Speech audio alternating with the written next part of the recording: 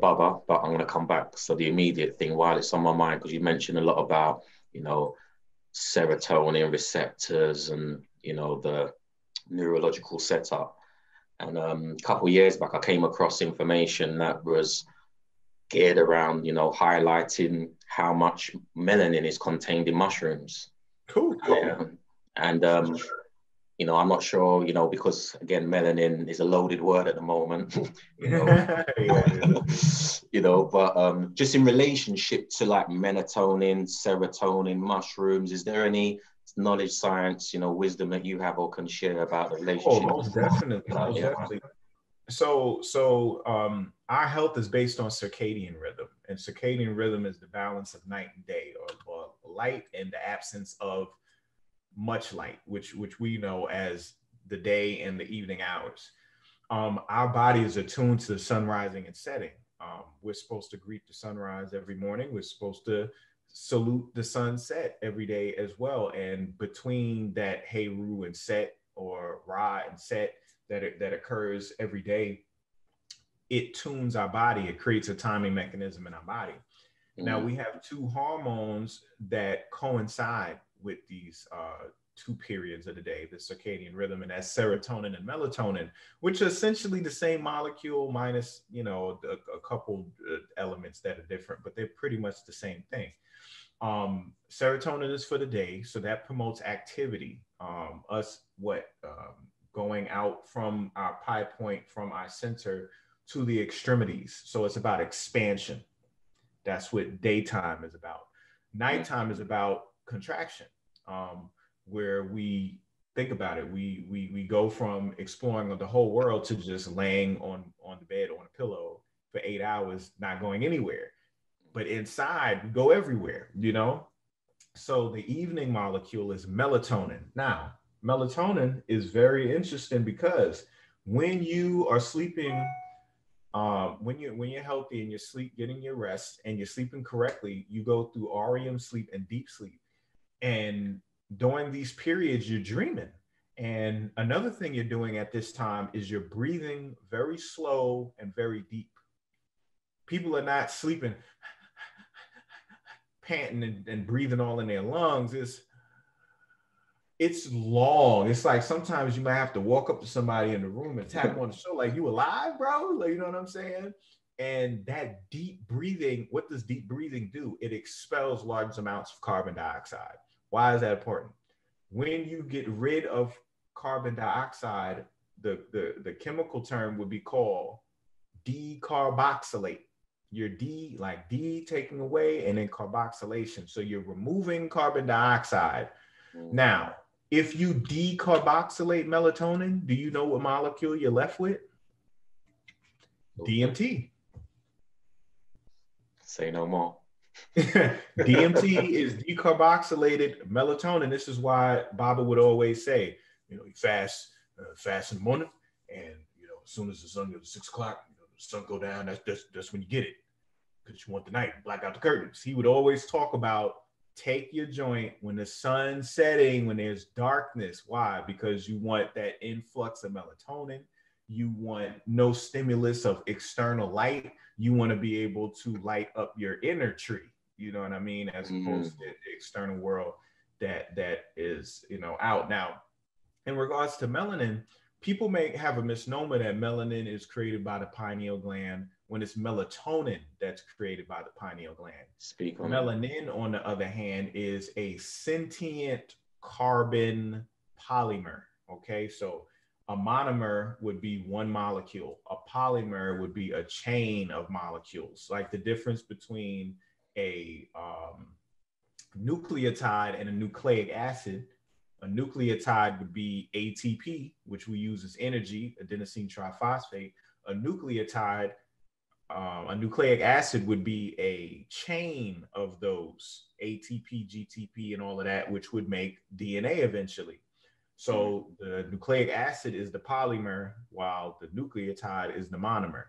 So the difference between monomers and polymers is that you know one represents a unit while the other one represents a chain of things. So with melanin, it's a polymer. It's it's, it's a chain.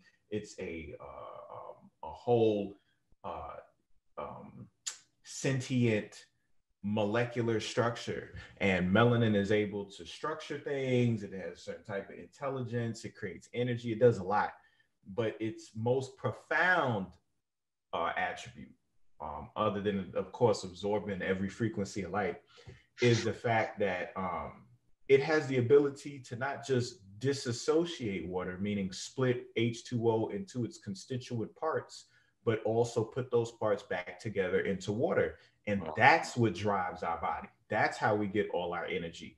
That's how we're able to uh, just run or fumes because we're 90% water and the water is the property that provides the energy. Melanin just liberates it for us. And in splitting and recombining water, we create hydrogen gas and plasma. And these high energy molecules and states of energy take care of our system. And we think it's coming from all this food we eat. like, no, it's it's actually the water. You know, so so to sum it up, melanin is a a a uh, technology that is supposed to be coupled with water. And I was just talking about the whole dried aspect of mushrooms. We have to chew those dried mushrooms. We have to add water to it in order to make the properties active. You know, uh, our whole body is aqueous. So melanin definitely plays a huge role in the uh, journeys that we take when we have on these trips because these trips have everything to do with certain uh, neuronal areas of the brain, such as the substantia nigra and the locus ceruleus, which are extremely melanated. These are melanated, neural melanated areas of the brain. You know, so melatonin, um, melanin, DMT, as well as your system um, these are keys to unlock doors that allow passage into other dimensions and other realms without you lifting a finger. Yeah, I had a, I come across a post a few weeks ago, and it was making reference to the so-called Bushmen of South Africa, the Khoisan, the San, and um, they were going into their dance rituals, you know, and um, it was just a snippet, and just the guy, you know, narrating the documentary was basically saying these guys are getting into psychedelic states without taking psychedelics. They just do it by dancing around the fire, you know, with these particular chants, and they're getting right. into these altered states of consciousness. And you know, and he goes in, but not forgetting you, you know, your body is the computer, is the technology, you know, and um, we have tools and technologies that complement our technology that enable us, like you said, to open up. That's right. Other areas. But you mentioned about this. Is it the circadian rhythm cycles? Yes. I, am just because it what came to mind because I thought you said locust, but you said something else. But about um, the circadian bugs. You familiar with this? Is it circadian? Oh, yeah, cicadas. You're talking about the cicadas, yeah. yeah. where they have the fungus that infects them, and yeah. they end up having DMT. That's right. That's right. Yeah, yeah, yeah, very. I'm familiar with them. I have an interesting story. See, this is the thing. Like, you never know what you're going through when you're growing up and you go through experiences, you know, until sure. later. Like, um, on on on the the series Flash, which is a, a comic book series, they have a villain named Cicada. Um, I've been hearing the term cicada a lot lately, and I'm like, wow. When I was younger, I thought I was a, like I thought I was the only one that knew about cicadas because I used to live in upstate New York. Mm. I had a job um, in a city called Tivoli, so I would have to ride my bicycle because I was I was around 13 maybe at this time. I used to have to ride my bicycle because I was a I was a bus boy. So I worked in this restaurant. This is how I yeah I learned how to cook um, certain items too because I, I worked alongside a chef, you know. So I was kind of the sous chef because he would have me like help him with things, but really mm-hmm. I was mm-hmm. like more of a bus boy. I gather all the dishes, you know, clean, make sure all the dishes is clean, clean all the machines and everything like that. So I really learned my way around the kitchen at a very young age. And um, it was a fine dining restaurant too. It wasn't like a diner or, you know, McDonald's or something like that. Mm-hmm. But I would have to ride my bike to work. And my job was, I think it was a 14 miles, something like that. I would have to ride because I have to ride through town, then get on the highway, and ride all the way down the highway on the bike and then get off the exit and then go into town and then I'd be there. Which was cool. It was a nice ride. I was out in the country. It was beautiful scenery. You know, it was cool. So one day I get up and I notice all of these um, brown beetles on the tree trunks. And I see little grubs, little beetles coming up from the ground and they're like climbing up on the tree and just staying there. I didn't think none of it. So then uh, sometime later, I come back out and they're all just on the trees like this. So I go over and I touch them and they're hollow. They're just these shells of little beetles just clinging to the tree trunks everywhere. Every, mm. every tree trunk all over the place. I'm like, they look like some alien takeover stuff, right? Exactly. So next thing you know, I come out and I swear to you, there were these big giant cicadas about this big flying, let me get in the camera, this big, flying all over the place, up in the trees, low, on the ground, on the grass. I'm talking about there was nowhere these cicadas was not. Mm. And you hear them because they make that sound, you know, like like crickets do, but just real, real. Uh, they, they're a little bit more aggressive though. And I'm like, what the hell is this? Like, I didn't know nothing about cicadas. I'm just looking at the whole process taking mm. taking place before my eyes. This is a 17 year cycle. I just happened to be there on the 17th oh. year. Lessons. so I'm like, so I had I had somebody I was staying with at the time because my mom wasn't up there, and I asked her if she could give me a ride. I was like, "Can you give me a ride to work? Do you? I'm not about to ride my bike in this crazy junk."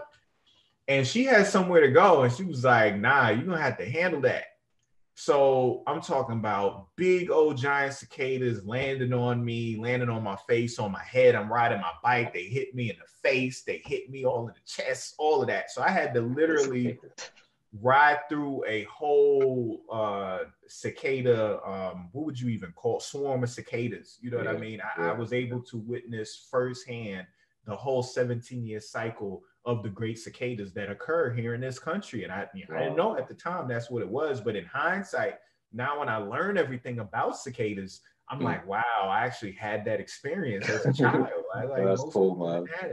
Yeah, when I was reading about it, I was like, oh yeah, man, I would like to have witnessed one of those, man. I was line it up, you know, to like it's, it's an event, you know, it's an event in itself. It's wild. It yeah, and then just based on the cycles and the patterns, it's like you know just how the again how nature's technology works. Years, bro, like to the oh. day, and they just come up from the earth like like like zombies, bro, like Thriller. Yeah, and they just start climbing up on the trees, and then they just stay there, and then they yeah. crust over, and they bust out, and then they climb up in the leaf. It's wild. Yeah, man. And then they get infected by the fungus. By the fungus. And on the latest reports that I was reading, they've identified that they're psilocybin containing fungus. Oh, yeah. They're, D- they're, uh, they're psilocybin, DMT containing. yeah. and, and my thing is, the it's not until the fungus and so it's something that happens between the infection of the cicada so the cicada plays a host it's almost like yeah. um, it's like cheese, I guess you would say. You know what I'm saying? Like the cow eats a certain thing, produces milk, and then you mm. know, even bees with honey. So it's it's like this psilocybin is getting produced, or, or even what's the other mushroom um, that infects the worm? Uh, cordyceps. Okay, yeah, yeah, yeah. Right, right. Um, they yeah. end up they so it's like half shroom and half this big yeah. old swallowtail caterpillar, something Comes like that. Heads, yeah. yeah. So um it's similar to that where this fungus infects this organism and the byproduct is a psilocybin you know, cough drop. Delicacy. psilocybin delicacy, ready, you know. That's what I'm saying. That's already dried out, you know, it's naturally dried out, you know, and ready to like, oh damn. Man. And then another thing it does is it it it actually deals with its pot it's like a population control mechanism too because for some reason it it affects males and destroys their sex organs and disorients them and then you have male cicadas messing with male cicadas mm-hmm. I found that was the interesting part of it too. I was like, what's going on here? what's happening here? But that's going to prevent any any um further lineage happening. So now you're you're literally dealing with cicada because you know I don't I don't prescribe to eat meat things like that. But if you did consume those cicadas, you wouldn't be interrupting their natural process of, of generations because mm. they can't reproduce no more. Yeah. Because of the infection that yeah, took place. It compromises their sexual organs in that whole process. Mm. So whoever whoever didn't get infected, they're able to perpetuate the species, but these they can't. So they have to serve some type of purpose, I guess. I feel sorry for the squirrels or whatever little animals catch them and eat them, bro. Like that gotta be a whole thing. You know yeah, what I'm Mia Moody was chopping it up a, a little while back and just looking at, you know, how and when these insects and animals, mammals, um, intentionally go to visit these psychedelic, you know, plants and organisms in the way that we do. We know reindeers do, foxes do here oh, in this region, you know, and like, yeah, it's you know, it's it's a, a delicacy that Mother Nature offers for all, you know, and you know, and it's on some animals' menus and it's not on others. So yeah, they right. be, they be they and as you said, they're processing it in the same way. They've got their technology, and however they um, you know they fly like the reindeers do, or supposedly do. You know, like, there's many myths that come off the back of these things. Those interactions. Oh, definitely. mushrooms. Yeah, Santa ain't nothing but an amanita. Amanita, I mean, he ain't nothing but an amanita. You know what I'm oh, saying? Yeah. With his red and white and all that type of stuff, man. Yeah. So. Oh, yeah.